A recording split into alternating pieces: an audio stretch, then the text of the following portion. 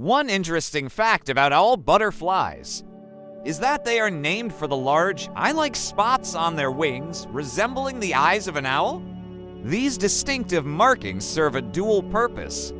They can startle or deter potential predators, and they play a role in the butterfly's defense.